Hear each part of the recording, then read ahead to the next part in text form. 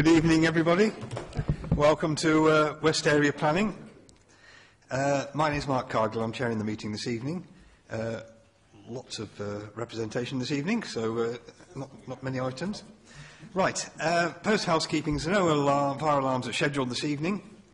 So if you do hear an alarm, please may you make your way out and congregate in the car park opposite by the pub. Please note this is a planning meeting uh, with public participation, not a public meeting. Only persons registered to speak will be allowed to do so. Uh, this meeting is being webcast. If you don't wish to be shown on the big wide world web, then please let an officer know at the appropriate time. For speakers this evening, uh, tits on the microphone, don't get too close to it, otherwise it becomes distorted. So um, stand away from it a little bit and then talk clearly. The sequence of events for each uh, application is as follows. I introduce the item, supported by the case officer who offers a description. Town and parish councillors will be allowed to speak for up to three minutes. Uh, members of the public objecting will be allowed to speak for up to three minutes. The applicant will then be allowed to speak for a commensurate time, either three or six minutes. I will give an approximate 30 second warning for time up. Ward members will then be allowed to speak for five minutes. At all stages, the member of the committee are allowed to ask questions following a presentation. We then uh, the case officer on technical questions and then move to debate and the vote. All of this is detailed in the agenda. Uh, may I ask you to turn your phones off or to silent, please, for the duration of the, the meeting? Right, uh, there is a, a late, uh, an update sheet for late breaking items uh, on your chairs. Right, Um, I would like now the officers to introduce themselves, starting from my right. Anne Banks from Committee Services. Ross Chambers, Legal Services. Karen Tate, Team Leader. If I can clarify, my role is to act as an impartial advisor to the committee and, with the case officer, help answer any questions which arise. I'm bound by the Code of Professional Conduct of the Royal Town Planning Institute – and, during the course of the meeting, I may seek to understand and test the views being expressed by committee members. This is done to ensure that the final decision made by the committee is best placed to withstand any subsequent challenge. Committee members can balance the planning issues as they consider appropriate and they are not bound by the case officer's recommendation in the agenda or by verbal advice provided this evening. Thank you. I'm Victoria Chadaway, Senior Planning Officer. Eleanor Bass, Planning Officer. Thank you. I'll now start the meeting. Um, apologies for absence. Chairman, we've got apologies from Councillor Giles, for whom Councillor Fielding is substituting, and Councillor Courage. Thank you. Dix sorry, did you want to say di disclosure of interest? Yes? Thank you, Chair. Did I miss expressions of interest? No, I've just done it. Okay. I, I have one. I, I'm the ward member for um, application number 1700724. Out. I have formed an opinion on this, so I won't take part in any debate if there is any, as I note that there's nobody here this evening. Thank you very much indeed, Councillor. Um, Councillor Barnes. And I've got the last application I should be speaking for it. Thank you very much. Uh, minutes of meeting. Are members happy with, for me to sign the minutes after this after the meeting? Thank you. I shall do so then. Right, let's move straight into the agenda then for this evening. Uh, the first item is application 17-00724-out to School Hill Cottages, Stratford on Avon, Wootton Wawen, and Victoria is presenting.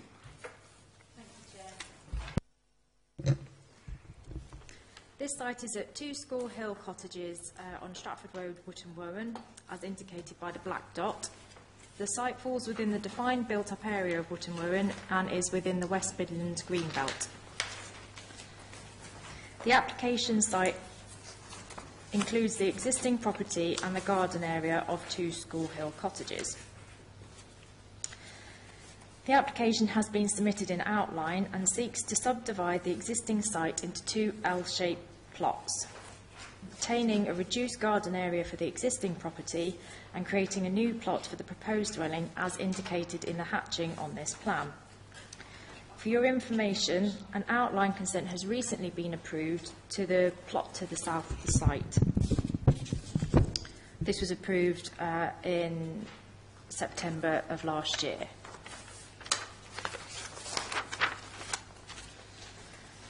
This is a street view of the site showing the existing property which fronts onto Stratford Road. This is an indicative plan of the proposed dwelling.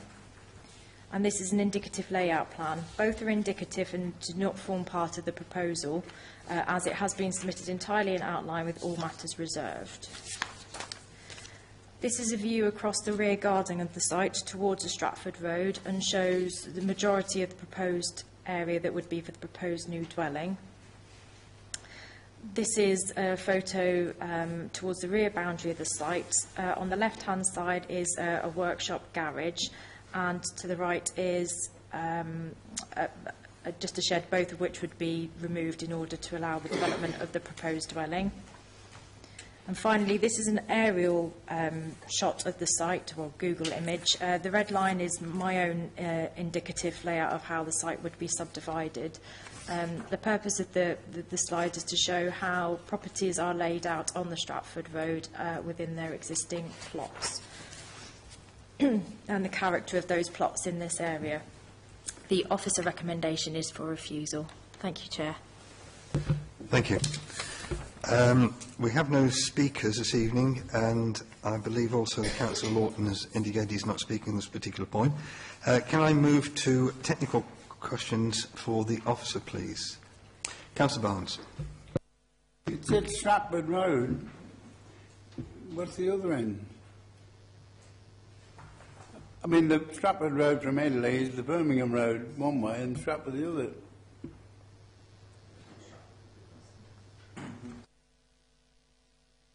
Yeah, oh, it's the three four hundred. Yeah. Oh, is it? Uh, are there any other... Yes, Councillor Fielding.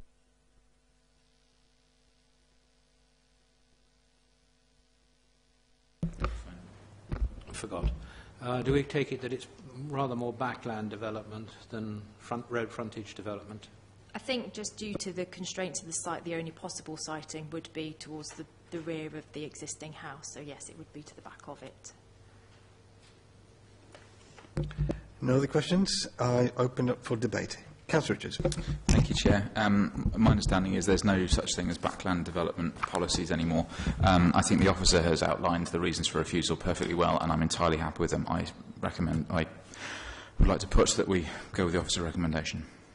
Thank you. I have a Proposed proposal. is the word I Do I have a seconder for this? Councillor Barnes. Uh, Yes, I'm quite happy to say, and I'm disappointed that the parish council who supported it, for the reason it's here, haven't come to speak.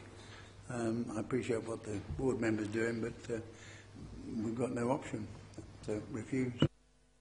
Thank you. Yes, I, I do support that view that if there are no, uh, if they bring it to council uh, committee, then they should come along. I agree with that as well. Okay, I have a proposer and I have a seconder. The vote, sorry. Oh, sorry, I already have a seconder. Thank you. Yeah. Uh, members, the vote before you is uh, 17 slash 00724 slash out, and it's to refuse. All those in favour? Unanimous, Chairman. Thank you. This committee therefore resolves to refuse planning permission for 17-00724-out. Thank you. The next item on the agenda is 17 slash 03691 slash full, uh, 6 Eaton Road, and Victoria is presenting again. Thank you.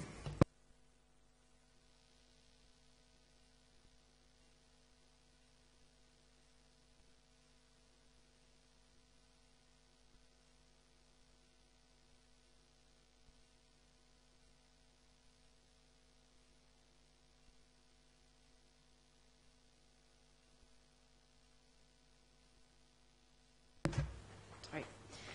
Um, the application site is at 6 Eaton Road, Stratford-on-Avon, as indicated by the black dot. Uh, the red line outline shows the existing property and associated curtilage in the context of the surrounding area. Um, this slide shows the existing front elevation of the application site and uh, within the context of the surrounding area. This slide shows the existing house in elevation format and the proposed extension. Um, the proposal is for a first floor side extension above the existing garage and a two-storey and single-storey rear extension, which I'll show you on a, a, a later slide. The design of the proposed extension has taken into account a similar extension that exists within the existing street, as shown on this slide. This is a view of the existing rear of the property uh, in the context of its two neighbouring dwellings. This is a proposal towards the rear of the site, showing the rear two-storey extension and single-storey extension. Um, and this is the footprint of the proposed uh, extension. Um, just to be noted that there has been an amendment during the course of the application to bring back the single-storey rear element in line with number 8 Eaton Road. There is one update on this application, uh, and that is that since the application, uh, since the report was written, um, the, uh, the Town Council have confirmed that they have no representations to make, uh, and the recommendation is for approval. Thank you, Chair. Thank you. And the reason for bringing it to committee? Is that it's um, uh, uh, an employee. Thank you. Uh, we have no speakers on this item. Uh, are there any technical questions you would like to ask the officer? Uh, do we wish to go to debate? Councillor Richards. I propose we uh, go with the officer's recommendation. I'll second that, Chair. Thank you. I have a proposer and a seconder. Members, the vote before you is to grant plan permission for 17-03691-4. All those in favour? Thank you. Unanimous, Chair. Thank you. This committee therefore resolves to grant plan permission permission for 17-03691-4. Thank you. We'll just change over presenting officers.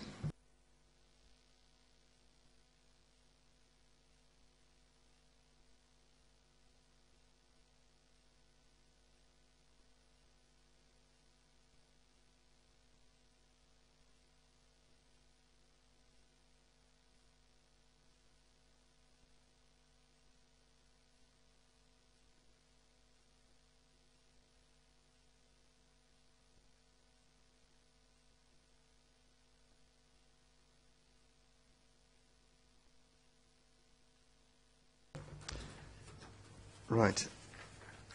The next item then is 17-03244-4. Eleanor is presenting.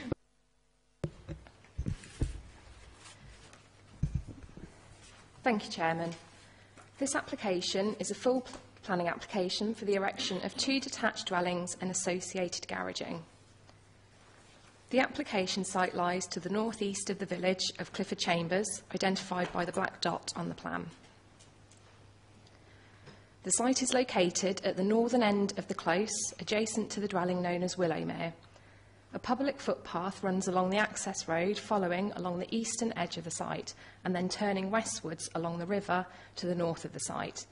This is shown dotted green on the plan.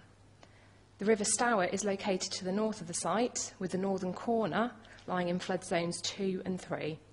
In addition, the boundary of the conservation area is outlined in pink on the plan, set some 100 metres away from the proposed dwellings. Here we have an aerial view of the application site, which is roughly outlined in red. Members will note the existing dwelling, known as Willowmere, adjacent to the application site, and also the paddock area within the eastern part of the application site. Here we have the proposed site plan, which shows two detached dwellings, plot 1 and plot 2, and their associated detached garages and access drive. This plan shows the elevations of plot 1, which would be a four bedroom detached house with a detached double garage and garden store. These are the elevations of the dwelling proposed at plot 2. Again, this is a four bedroom detached house with a separate garage and garden store. We now have some photos of the site. Here we're standing on the main road that runs through Clifford Chambers, looking northwards up the close. We're now standing at the end of the close, with Willowmere to the left of the photo and the application site in front of us, accessed through the gates. gates. Owlet End, a neighbouring dwelling, is just to the right of the photo. Looking directly into the application site onto paddock land, this would be the access drive, and plot 1 would be on this parcel, land, parcel of land directly in front of us. Plot 2 would be located to the left behind the trees and existing dwelling. The fence to the right of the photo delineates the public footpath that follows the perimeter of the application site. We're now stood on the public footpath to the north of the site, looking across the paddock land, with Willowmere in the background. Plot 1 would be located in front of us. This is standing within the garden of Willowmere, looking at the existing tennis court and outbuildings. These will be um, demolished and plot 2 will be sited in this area. Again, we're still standing in the garden of Willowmere and the outbuilding to the left will be demolished. The garaging for plot 2 would be located directly in front of us and plot 1 would be in, in the background. I now have a video to show.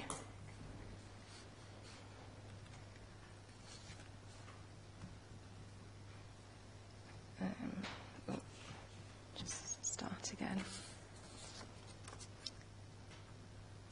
So we're standing on the public footpath and panning round from Willowmere across the paddock land where plot one would be located and its associated garden towards the rear of the site with the river um, adjacent to the application site. There are no updates to the application. Chairman, the recommendation is to refuse the application for the reasons set out on page 47 of the agenda. Thank you, Eleanor. Our first speaker this evening is Councillor Les Mosley.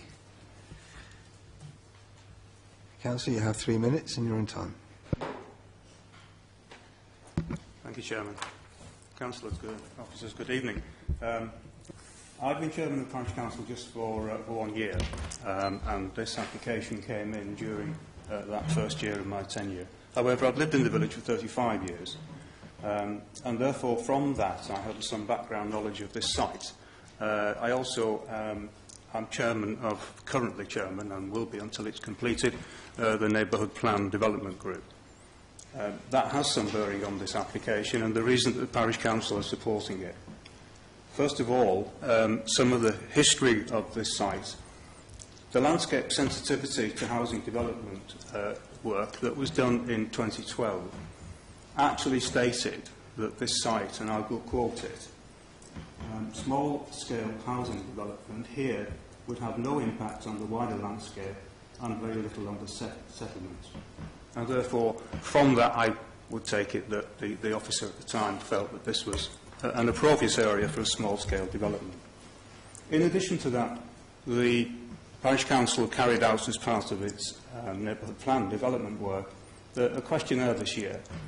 The questionnaire came out favourably uh, in terms of development on gardens, and therefore part of the reason that we supported it was the results of that questionnaire. In addition to that, in July of this year, the Parish Council was consulted, that was on the 7th of July. We should have been consulted rather three weeks before that, but for some reason we weren't. It was fortuitous I was having a meeting with one of your officers, Matthew Neal, and he pointed out that the built-up area boundary uh, was different than the one that we were proposing uh, as part of the neighbourhood development plan. Uh, we looked at that uh, consultation document and we responded in the time frame that was required, and that was by the 27th of July uh, of, this, of last year. The plan that we sent and the plan that was consulted in the public in two public meetings was the one that I sent to the planning officer when uh, this application was first rejected. That plan will also be part of the neighbourhood plan document when it's submitted to SDC very shortly uh, for assessment. That plan includes the whole of this garden. And the reason for that is that I know... 30 seconds, please, Councillor. Say again? 30 seconds. Okay. Well, the reason for that is that we know that this garden um, has been in existence for the best part of 25 to 30 years as, as a garden, and we didn't consider it at all to be a paddock. Um, and for that reason, the Parish Council are strongly supporting this. A, it's been agreed, as it were, in the questionnaire in terms of a garden development, and B, we believe it's within the built-up area boundary, and it certainly will be when we submit our documentation under the neighbourhood plan. Thank you, Councillor. Any questions, members? Councillor Fielding. How soon before you get the neighbourhood plan coming forward?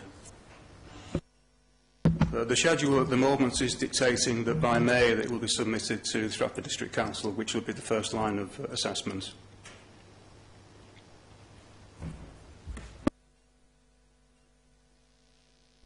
Any other questions of the councillor? No? Okay, thank you very much, councillor. Our next speaker is Donna Savage.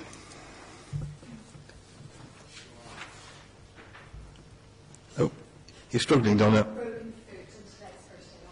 Oh no. Okay, well.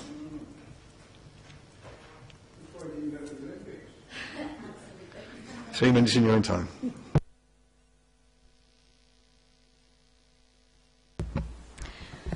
Um, thank you, Chairman. I don't want to say too much because I think um, most of the points have been covered by the, the parish councillor. Um, but what I would like you all to do is actually have a look at the plan that's on the screen. Um, we had this done um, as we went through the application because I think it illustrates that putting two plots up at the top of the close in no way is out of character with the rest of the, the close or actually the character of um, Clifford Chambers. I actually think it rounds off the close. and um, in the officer's report, uh, she supports the development of plot two, which is to the left-hand side as you look at it, but obviously not plot one, which um, she believes is mostly within what is a paddock. Now, my client took the decision years ago to fence that off um, because they do have um, a very big plot. Um, but you've heard from the parish council that you know, they've quoted your own document back at you saying that this is a well-screened piece of um, land which is within that um, wider settlement of the village. And I think when you look at that plan, you know, as a planner, I look at that and think actually, I would know which were the two new houses that were being proposed because it fits in with the village so well. Um, there isn't a village, develop, uh, a village boundary um, in terms of development. That's being worked through at the moment. And I think it's a balancing exercise with all things planning that we have to look at something and say, is it out of keeping with the character of the village?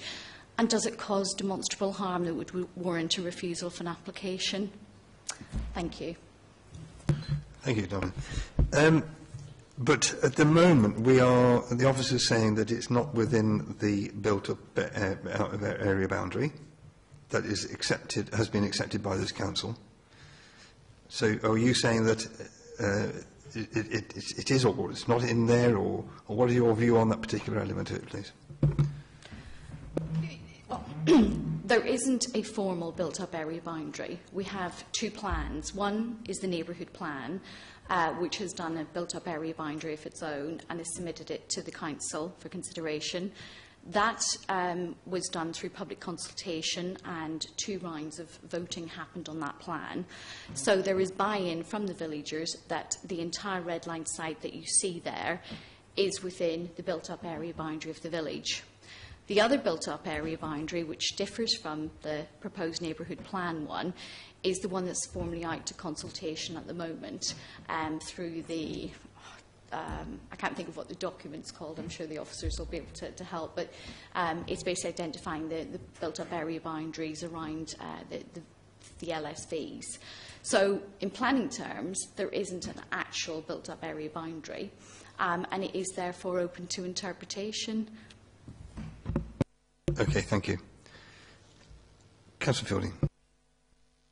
I'm a bit puzzled by the comments made. The uh, planning officer refers to it as Park Paddock Park Garden Land, but from what I understand from the parish councillor, they've been treating it as garden land for the last 30 years. Am I right, or I, did I mishear?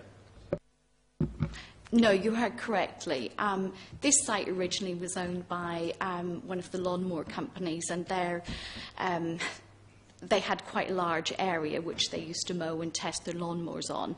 Um, it's a very big piece to look after, and there's fences all across the land where my client has erected them over the years, just to kind of break up that bit of land and to, to do different things in different areas. Um, but, you know, it's, it's always been part of that wider garden, and that's going back to the 1980s. Thank you. Any other questions? No? Thank you very much. Right. Any other technical questions you would like to ask? I think the first one I'd like to ask. Sorry? Oh, apologise. Councillor Barnes. Five minutes. Sorry, Councillor Barnes, I nearly shut, shut you off there. Apologies. You usually forget me, but I'll just make to say that the dog is voting for this. I'll put his finger. Um, this application came in in the respect some time ago. The lady came to me, she said, I want to build a house for my daughter. Um, I said, it's on the floodplain. Oh, no, it's not. I've been here 32 years and it doesn't flood. So I said, well, you know, there's a blue line on the floodplain. It's all on the computer. Looked at it, moved it back.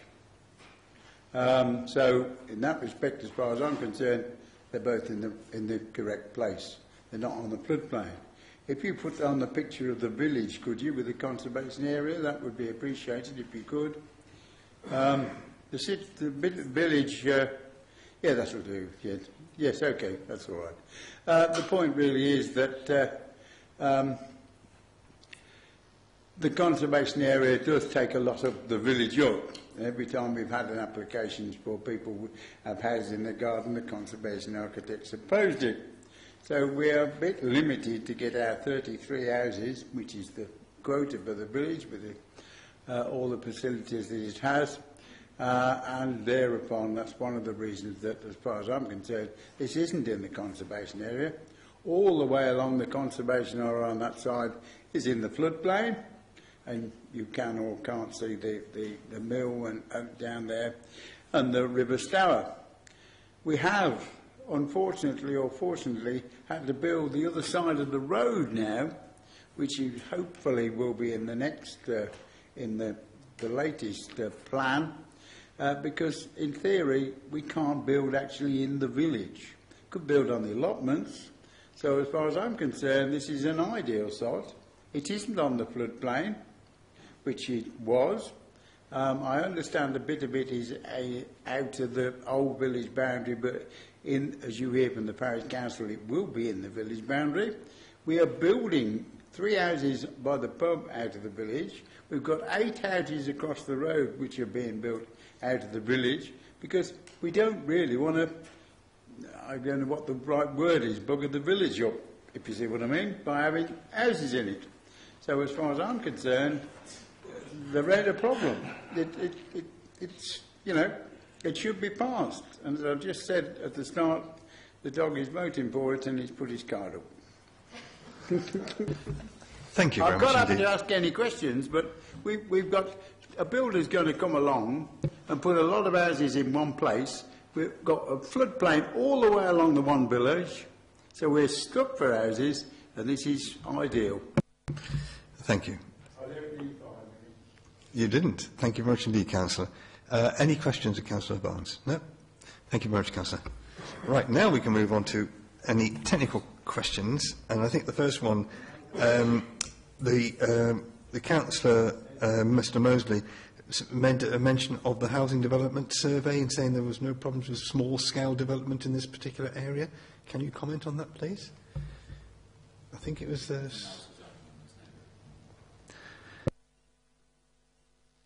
Not, we're not aware of that.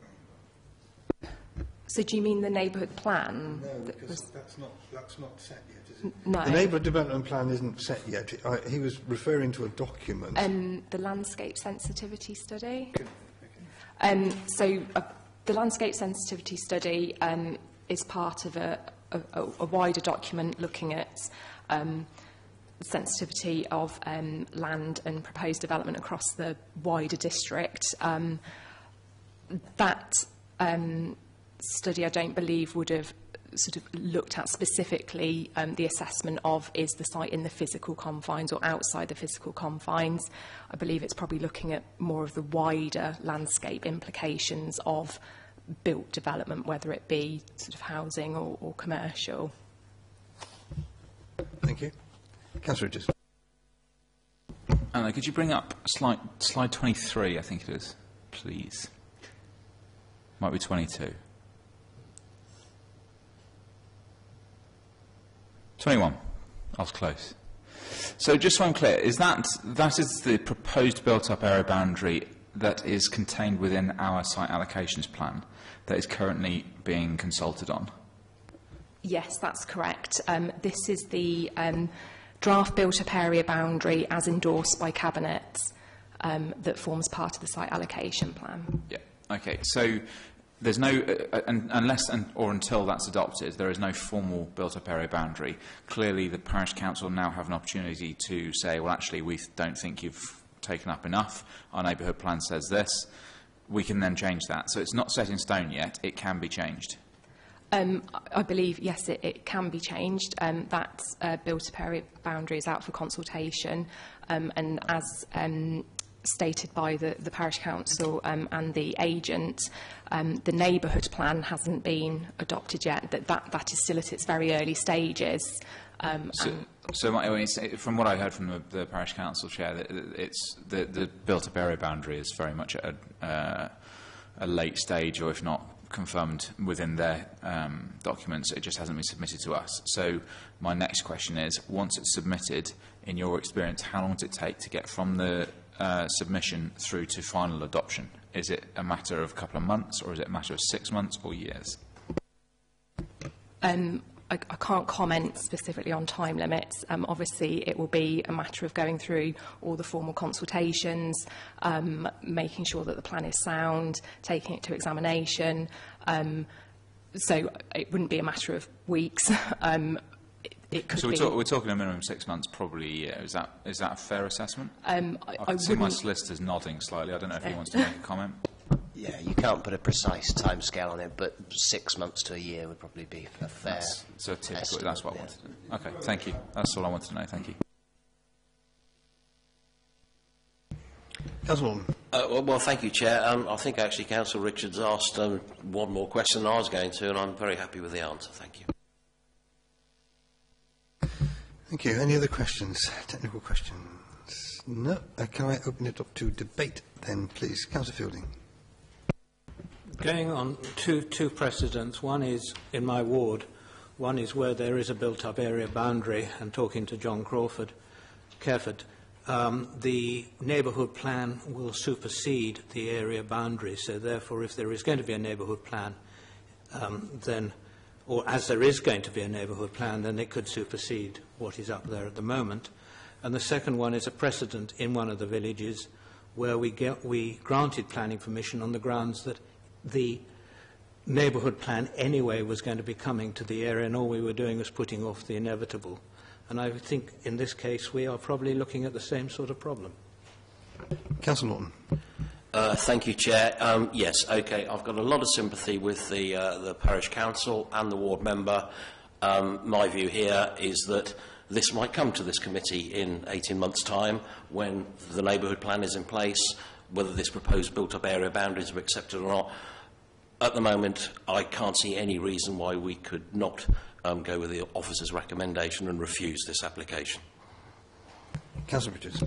Uh, It appears Councillor Lawton and I uh, of the same mind. The, the, the difficulty we've got, we don't have the benefit of the neighbourhood plan in front of us. It's not been formally adopted, and therefore we're making a decision on policies that we have set here. And the officer's recommendation has come with those policies in mind, and I think is very appropriate given where we are now. In 18 months' time, that may be different, but we are where we are today, um, and I think I would be proposing that we do refuse on that basis. Thank you. I have to admit, I think this is a finely balanced one because of the uh, input from the parish council. Um, but you're, you're right. It has not come through as a formal not neighbourhood development plan and such like. I, I feel that obviously if it did come back, I don't see any reason because the first uh, dwelling, plot one, would be uh, acceptable today or is acceptable today, but plot two not. So I'm, I agree with Councillor Lawton um, on that particular point, I'm afraid. Uh, I have sympathy, but I think that we must go with the officer's recommendation. Um, I have a proposer. Do I have a seconder, please? For this. Thank you. Uh, members, um, if there's no more debate on this particular item, the, uh, I have a proposer and a seconder for refusing this planning permission. This is for 17/03244/full, All those in favour? One, two, three, four, Chairman. Against? Two, Chairman. Okay, this committee therefore resolves to refuse planning permission for 17/03244/4. Thank you very much. Uh, there are no other items on the agenda. I therefore will close the meeting. Thank you.